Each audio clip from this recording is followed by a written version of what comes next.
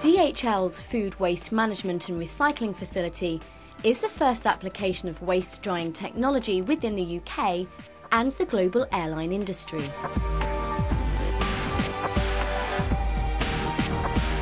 As both airlines and their passengers become increasingly concerned about their flight's carbon footprint, our innovative system brings both environmental and cost benefits.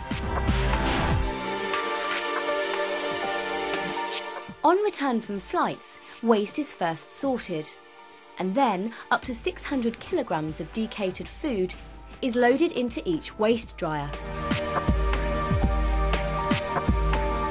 At the end of the heat drying process, we achieve a significant reduction in waste volume and weight, and just two byproducts clean water and a small quantity of loose dry waste that is itself a combustible energy source.